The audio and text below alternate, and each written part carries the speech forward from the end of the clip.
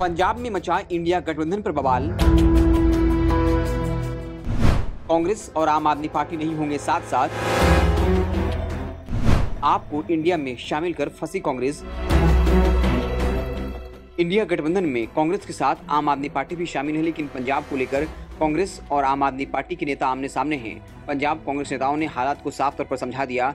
पंजाब में आम आदमी पार्टी के साथ मिलकर चुनाव लड़ने का सवाल ही नहीं, पंजाब कांग्रेस प्रदेश अध्यक्ष ने अपने आलाकमान को भी समझा दिया। आम आदमी पार्टी से कोई भी समझौता नहीं। अगर हम आम आदमी पार्टी का समर्थन करते हैं या उनके साथ चुनाव लड़ते हैं तो वो हमारे अस्तित्व को ही खत्म कर देंगे। वहीं आम आदमी पार्टी की तरफ़ से भी कांग्रेस के खिलाफ लगातार बयानबाजियाँ हो रही हैं। क्यों कहा जा रहा है कि पंजाब को लेकर इंडिया गठबंधन में बवाल मचेगा? कांग्रेस और आम आदमी पार्टी एक साथ नहीं आ पाएँगे। हम आपको पूरी कहानी बताएँगे, उससे पहले एक गुजारिश है। चैनल पर पहली बार आए तो सब्सक्राइब करें, वीडियो को लाइक करें। इंडिया गठबंधन में होते हुए कांग्रेस और आम आदमी पार्टी अलग अलग लड़ेंगे चुनाव। लोकसभा चुनाव से ठीक पहले गठित विपक्षी गठबंधन इंडिया में भले ही कांग्रेस और आम आदमी पार्टी साथ साथ हो, मगर पंजाब की सियासत में दोनों साथ साथ चलने को तैयार नहीं। पंजाब में कांग्रेस और आम आदमी पार्टी के भारतीय राष्ट्रीय विकासात्मक समावेशी गठबंधन से हटकर अलग अलग चुनाव लड़ने के संकेत हैं। दोनों ही राजनीतिक दलों के नेताओं ने यह संकेत देने शुरू कर दिए कि दोनों पार्टियाँ राज्य में अलग अलग चुनाव लड़ेंगी। नेता प्रतिपक्ष प्रताप सिंह बाजवा का कहना है, पंजाब में कांग्रेस को अकेले ही चुनाव लड़ना चाहिए और भाजपा का विरोध करने के लिए बाद में एकजुट होना चाहिए। इस बीच पंजाब की कैबिनेट मंत्री का बयान आया। पंजाब के मुख्यमंत्री भगवत मान ने स्पष्ट कहा है, आम आदमी पार्टी को पंजाब की सभी तेरह सीटों पर चुनाव लड़ने के लिए तैयार रहना चाहिए। पंजाब में आम आदमी पार्टी किसी भी गठबंधन के हक में नहीं है। आप प्रवक्ता मलविंदर सिंह कंग ने भी कहा, हम स्वतंत्र रूप से चुनाव लड़ेंगे। आपके सूत्रों का कहना है, बातचीत में रुकावट आ गई है क्योंकि कांग्रेस चाहती है दोनों पार्टियाँ सात सात सीटों पर चुनाव लड़े, जबकि आप उन्हें केवल पाँच सीट देने को तैयार है।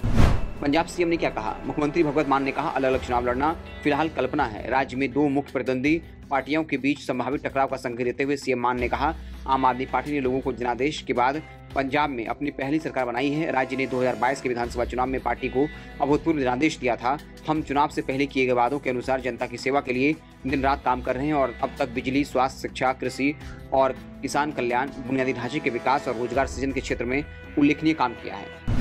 आम आदमी पार्टी और कांग्रेस के बीच समझौता संभव नहीं। राष्ट्रीय स्तर पर आम आदमी पार्टी और कांग्रेस दोनों ही इंडिया गठबंधन का हिस्सा है। पंजाब कांग्रेस शुरू से ही राज्य में किसी भी तरह से आप के साथ गठबंधन के हक में नहीं थी, जबकि हाल में ही वित्त मंत्री हरपाल सिंह चीमा ने कहा था, आप कांग्रेस के साथ मिलकर चुनाव लड़ेगी। अनमोल गगन, मान और सीएम भगवत मान के बयान के बाद मामले में नया मोड़ आया है और बताया जा रहा है। अब आम आदमी पार्टी ने भी केंद्र शासित प्रदेश चंडीगढ़ सहित राज्य की चौदह सीटों पर लड़ने का मन बना लिया है। राज्य की तेरह संसदीय सीटों में से केंद्र शासित प्रदेश चंडीगढ़ के अलावा छह का प्रतिनिधित्व कांग्रेस द्वारा किया जा रहा है। राज्य कांग्रेस की बैठक में आपके साथ मिलकर चुनाव लड़ने का कड़ा विरोध किया गया है। कांग्रेस नेताओं का कहना था, इस तरह के गठबंधन का लाभ सीधे तौर पर श्रोमणी अकाली दल को होगा। कार्यकर्ताओं ने कांग्रेस अध्यक्ष राजा वडिंग और विपक्ष के नेता प्रताप बाजवा को 16 सितंबर को हैदराबाद में आगामी सीडब्ल्यूसी बैठक के मौके पर इस मामले को आलाकमान के सामने उठाने के लिए भी कहा था।